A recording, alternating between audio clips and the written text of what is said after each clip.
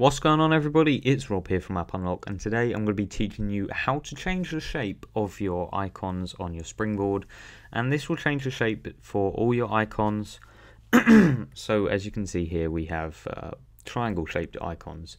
So to do this you're going to need two things. You're going to need Cydia and Winterboard.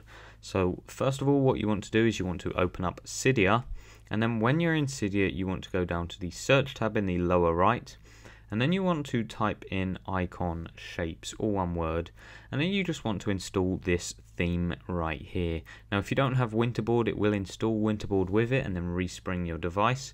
And once it's resprung what you want to do is you want to open up winterboard just like so and then you can select themes. And the themes you'll have will be triangles stars squiggly and squares on top of that, you'll have diamonds, circles. So what you can do is you can simply select one or deselect one, you go back and then you click respring.